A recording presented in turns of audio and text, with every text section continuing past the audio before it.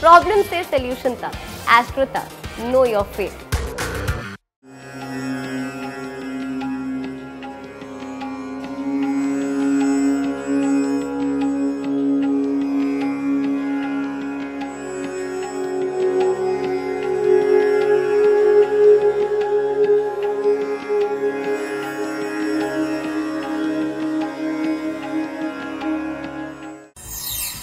चमत्कारी हनुमान चालीसा।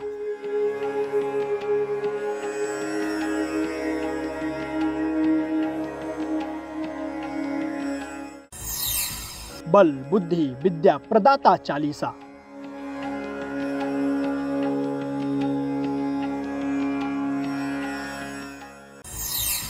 हर दुख हरेंगे महाबली, राम भक्त हनुमान। जब हनुमान जी की कृपा मिले, जब बजरंगी साथ हो तो फिर संकट का डर कैसा? श्री हनुमान जी, संकट मोचन है। अति बलशाली हैं।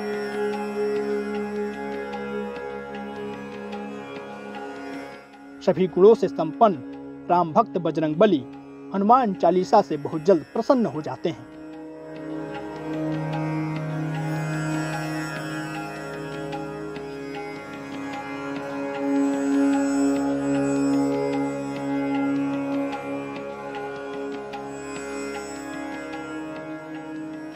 इसका पाठ नियमित तौर पर करने से रोज़गार संबंधी समस्या नहीं होती। इसके पाठ करने से दाम्पत्य जीवन में मधुरता बनी रहती है। इसके पाठ करने से व्यक्ति के जीवन में साहस की वृद्धि होती है।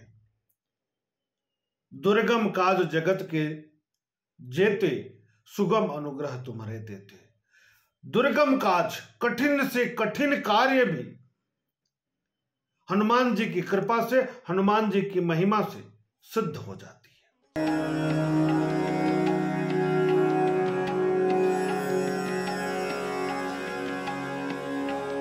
पुरातन काल से ही ईश्वर की कृपा पाने के कई तरीके हैं। इनमें से ही एक मार्ग है, चालीसा का पाठ करना।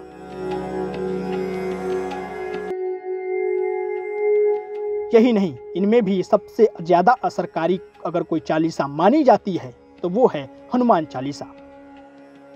चालीस लाइनों वाली हनुमान चालीसा को पढ़ने से मन को शांति और शक्ति मिलती है।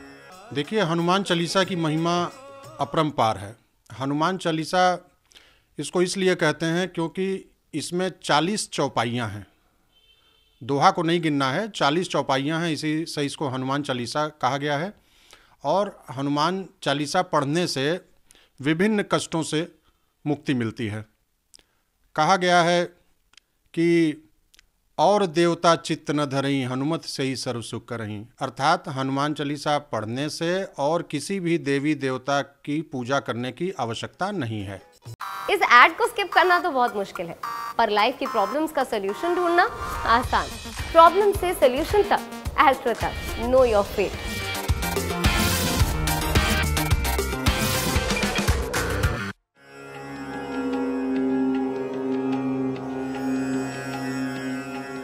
मन में साहस, शक्ति का संचार करने वाली श्री हनुमान चालीसा पढ़ने से हनुमान जी अति प्रसन्न हो जाते हैं।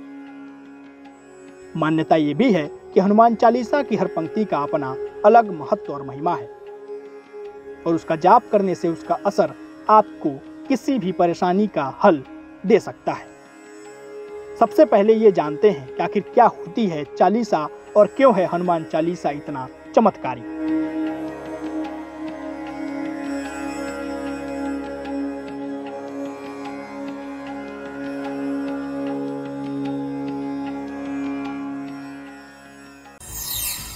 भक्त द्वारा अपने भगवान या इष्ट को प्रसन्न करने के लिए तथा अपनी समस्याओं के निवारण के लिए सरल भाषा में की गई प्रार्थना चालीसा कही जाती है।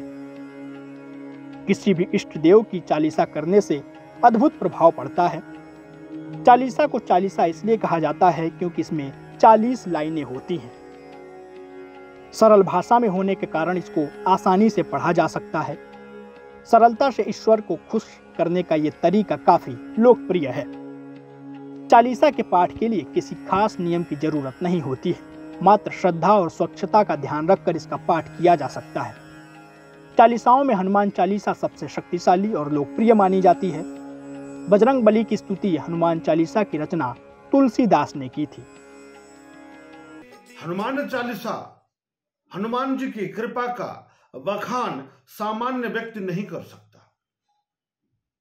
शास्त्रों में वर्णित है और हनुमान चालीसा की लाइनों को अगर हम ध्यान दें तो वहाँ हमें पता चलता है कि इसके जप से कितने प्रकार के लाभ जीवन में हो सकते हैं। जैसे भूत पिचास, निकट नहीं आवे महावीर जब नाम सुना में यानी नकारात्मक ऊर्जा, बाहरी शक्तियाँ जो नकारात्मक रूप से हमें परेशान कर रही हैं, उसका भी निवारण हो जाता है।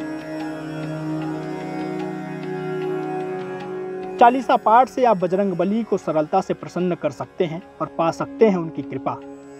लेकिन उसके पहले आपको चालीसा पाठ का सही तरीका यानी प्रयोग विधि भी जानना ज़रूरी है।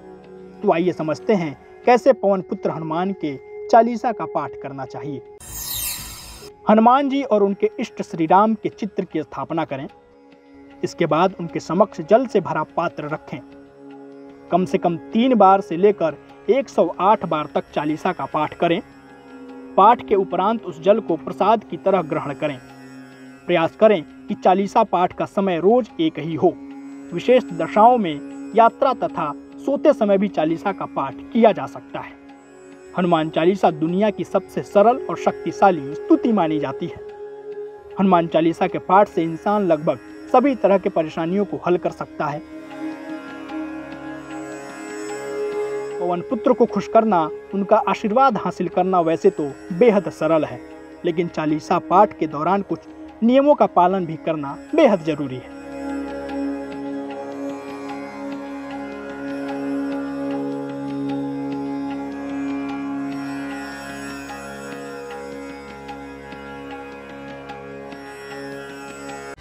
एस्ट्रो तक ऐप पर आपको मिलेगा भविष्य से जुड़े हर सवाल का जवाब।